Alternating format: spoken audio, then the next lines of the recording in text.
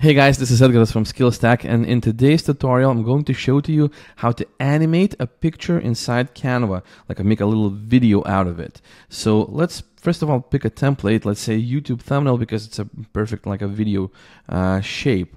So once we click that, um, let's take a picture. You can upload your own picture that you want to do that with, but I'm going to use something from uh, my previous pictures uh, that I've used in Canva. Let's see this one, right? So I'm putting it like this. Maybe I would even want to add it uh, not like a full sized, right? Or maybe we can even add it full size inside here. So what I want to do, first of all, is I want to click edit and there's this Magic Studio and inside there's an app called Magic Grab.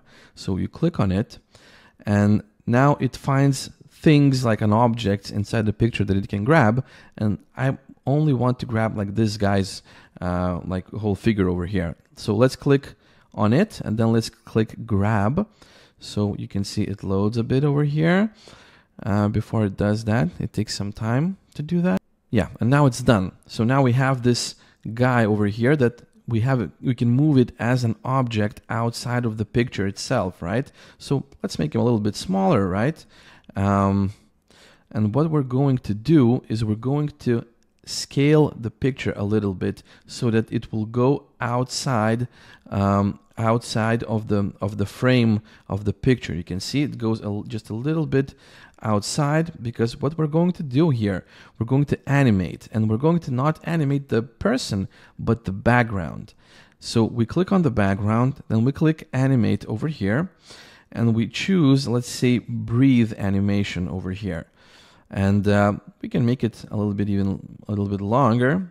Maybe not that long. You can see the edges already coming out over here. So maybe something like this. Or we can actually scale the the, the picture even further back. And then we can scale over here when it comes to animation.